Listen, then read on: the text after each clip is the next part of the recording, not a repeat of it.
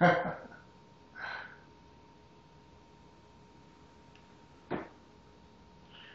right, so um, this is a Unity app that I created, which is using the sound, uh, the servo, uh, servo, servo server. It's hard to say. And let me show you how I did it. So I loaded up an EZ-Builder project and I created camera control, which I connected to a camera that's up on the monitor over there.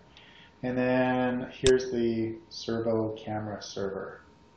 You can see, here that my machine locally is connected to it.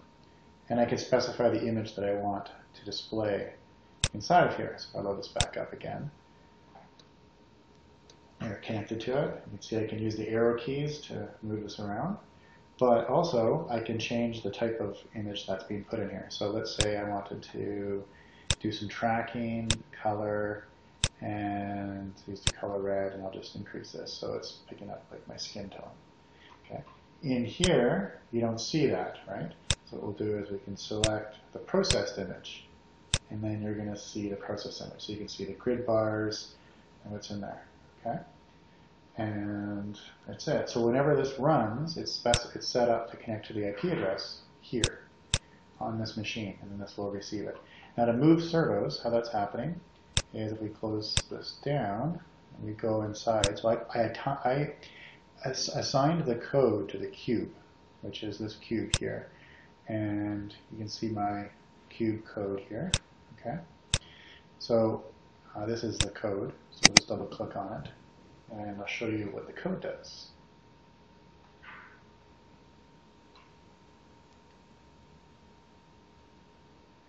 So this is the servo server client, which I dragged the folder from the test app into this folder here. So I have my information for it, and I have this variable initialized and the texture, and then I have this, which is the um, the image in a byte array. Okay.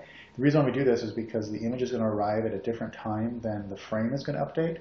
So we allow them to, we allow the frame update to synchronize uh, based upon whatever is inside of this variable, and it's volatile, which means uh, the compiler will treat it uh, for cross-threading for multi, um, multi uh, multitasking. So you can see here, I also created a texture, which I assigned as an RGB 24, so 24-bit RGB value, and my resolution of 640 by 40. You're going to want that to be whatever resolution that you're putting into it, right? So if you're creating a, an image that is 1024 by 768, you're going to probably want to put that in there. If it's uh, 320 by 200, you're going to put that in there. Um, it doesn't have to be because this will resize the image as it needs to, but it's just nice to have. And then here is my IP address that I'm connecting to. So this is a client, remember, this is inside of Unity. So it's connecting to this control here. So the IP address. If you had an application of your own, you're probably going to want to make this to be a, a variable, which people can configure using a menu of some sort. Um, if you look at the virtual reality robot control, which is under manual uh, virtual reality here. If you ever run this control here, you'll notice that there's a, menu to configure the, uh, the ports and the address you're going to connect to. And then every time an image exists, because it's been sent from the EZ-Builder instance, then we assign it to the variable. And then um, if we close down the scene or we disconnect right from the uh, from the, the server, and this runs for every update. So you're going to want this to be really quick. You don't want to wait in here. So doing like HTTP calls and things like that is really going to slow down your update. So this is going to be way quicker using this control versus um, doing things with the HTTP server. So you can see here that I have, if you hit the right arrow, I'm transforming the cube. Okay, so I'm rotating it. But I'm also taking the transform value x and I'm mapping it to a byte. And what map to a byte will do is if you read here, it'll specify, because everything in, in uh, Unity uses a float, right, between minus 1 and plus 1. So this will take that minus 1 and plus 1 and convert it into degrees between 1 and 180 for servos. So map to byte is convenient if you're doing things like joints or, or whatever, whatever you have. And I'm using port D1. And you can see I'm doing that for left arrow, down arrow, and this is D0, and up arrow D0, okay, and it's using transform rotation Y.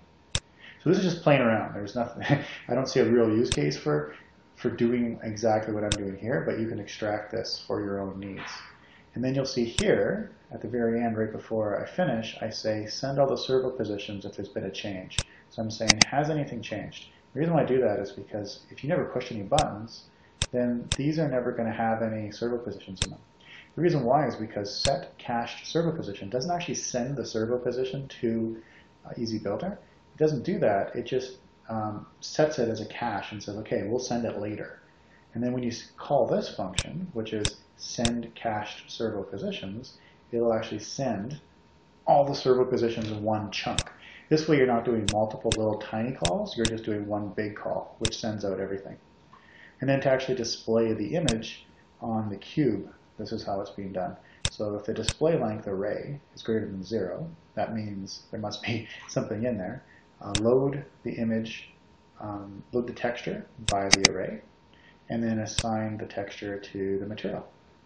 And this minus one and, pl and plus one here, this will, uh, if you actually change these around, you can rotate, you can change the image, you can invert it, you can flip it, you can um, you can change on how it's actually being drawn onto the uh, onto the object. So that's actually just it. It's pretty simple. Uh, you just copy it into your project, do what I just did, and start rotating cubes. I don't know. I'm sure you'll find a, a better use for it. But you can see here that it's connecting and working great. Cool. All right, guys. Have fun with this.